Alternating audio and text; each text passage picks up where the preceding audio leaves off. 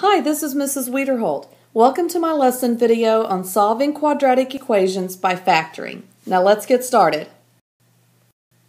First, let's take a look at what factoring is. Factoring is finding two numbers that you can multiply together to equal a third number.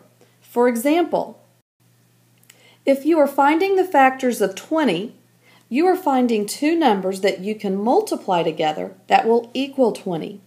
So let's see, I have 1 times 20, that equals 20. We have 2 times 10, that equals 20. Um, 3, no, there's nothing times 3 that will equal 20, but what about 4? 4 times 5 equals 20. Now the next number we would choose is 5. So that means, yes, 5 times 4. And you kind of get the picture. At this point, if I keep going, that means that 10 times 2 equals 20, and then 20 times 1 equals 20. When factoring quadratic equations, we will be using this basic form of factoring. But a quadratic that is in factored form will be represented by two binomials that can be multiplied together. Now I know this might make might not make much sense right now, but just hang with me and you'll see what I mean. There are four steps to factor a quadratic equation, and then there is a fifth step that we will use to actually solve the quadratic equation. So let's look at step number one first. We want to find the factors of a times c that will add up to b. Now, in order to do this, we have to identify our A, B, and C value. So my A value is 3. My B value is negative 4. And my C value is also negative 4. So again, in step number one, now that we've identified our A, B, and C values, we can find the factors of A times C that will add up to B. Well, what is A times C? That would be 3 times negative 4. So 3 times negative 4, which equals negative 12. So what are some factors of negative 12 that would add or subtract to equal negative 4? Well, I know that 3 times 4 excuse me, I had to get my pen working. 3 times 4 is equal to 12. And of course, we could make one negative, one positive. I also know that 2 times 6 is equal to 12. And 1 times 12 is equal to 12. Now, if I look at, if I go first to the, um, my 3 times 4, if I add those together, I get 7. And I need it to equal the negative 4. If I were to say positive 3 plus negative 4, that would still not give me a negative 4. So I'm pretty sure I can cross that out. And now I'm going to look at my next pair of factors. Hmm, 2 times 6. Well, 2 plus 6 is 8, but 2 minus 6 would be negative 4. So I believe we have found the right pair right here. I could say that 2 times negative 6 is equal to negative 12, but I could also say that 2 plus negative 6 is equal to negative 4. Okay? So now that we have our factors, we can move on to step number 2, which would be to arrange your factors in parentheses. In order to do this, we are going to set up two sets of parentheses. We're going to be putting a, a, binomial in each of these. But anyway, set up your two parentheses and let's go ahead and put an x in the first place of each parentheses. So now I'm going to bring down my two factors.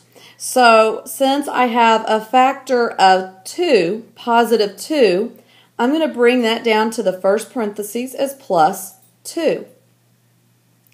And since negative 6 is my next factor, I'm going to bring that down and place it in the second parentheses as minus 6. Now, it does not matter the order of your binomials. It is okay to have x minus 6 in the first parentheses and x plus 2 in the second parentheses. Now, let's move on to step number 3. Now, in this step, we are going to divide each factor by a. And the method we are using, it's called the drop and kick method. There are several methods that you can use to factor your quadratic equations, but I have found that this one is the shortest way. Um, so that's the one we're doing in this lesson video. So now let's get back to, to step three. If we divide each factor by a, well, the a is 3. So I'm going to divide each of these by 3, and that would be the drop. If, if we're going to drop and kick, this would be the drop. Next, we're ready to move to step 4. Now, if after you have divided by the a value, if it does simplify to a whole number, then there's nothing else to do with that binomial. So for example, if we look at this first one, what is 6 divided by 3 or negative 6 divided by 3? Well, that would be negative 2. So we're just going to write x minus 2. Now look at the second binomial.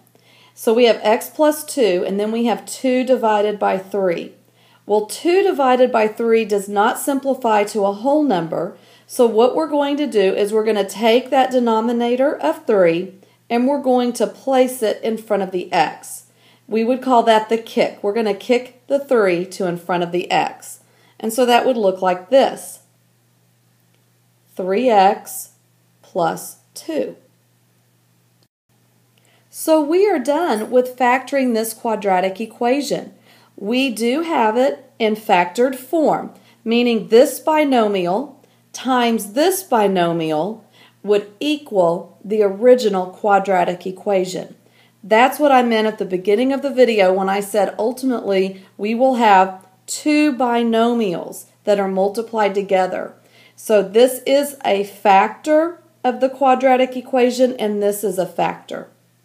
Now, if you were to multiply these two binomials together, and normally we would uh, call that the FOIL method. You, so if you use the FOIL method and multiplied them together, you would get the original quadratic equation. Now we're going to move on and we're going to go to step number five. And remember, step number five is basically how we will find our solutions to this quadratic equation. In order to find our solutions, we need to take each binomial and set it equal to 0. And that would look like this. We could have x minus 2 is equal to 0. And then we would also have 3x plus 2 is equal to 0. So now that they are both set equal to 0, one at a time, we can solve for x. And I'm going to start with the one on the left. If I want to solve for x, I need to add 2 to both sides.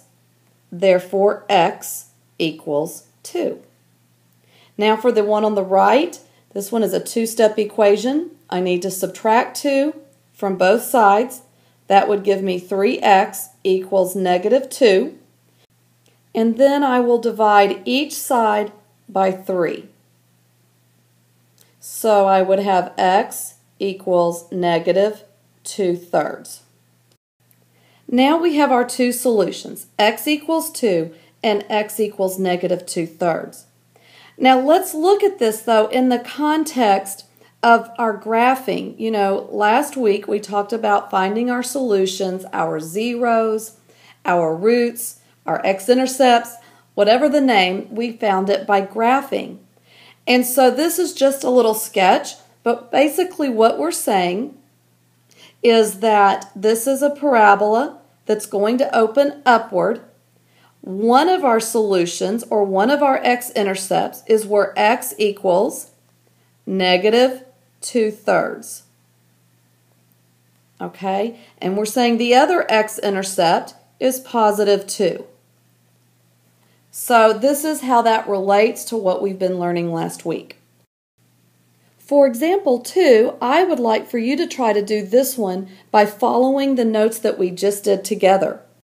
You can press pause while you attempt to do this one on your own. At any point, if you need some help, just push play and then I will be going through the problem with you. So good luck. Okay, so now let's go over this one. This example of x squared minus 10x plus 9 equals 0.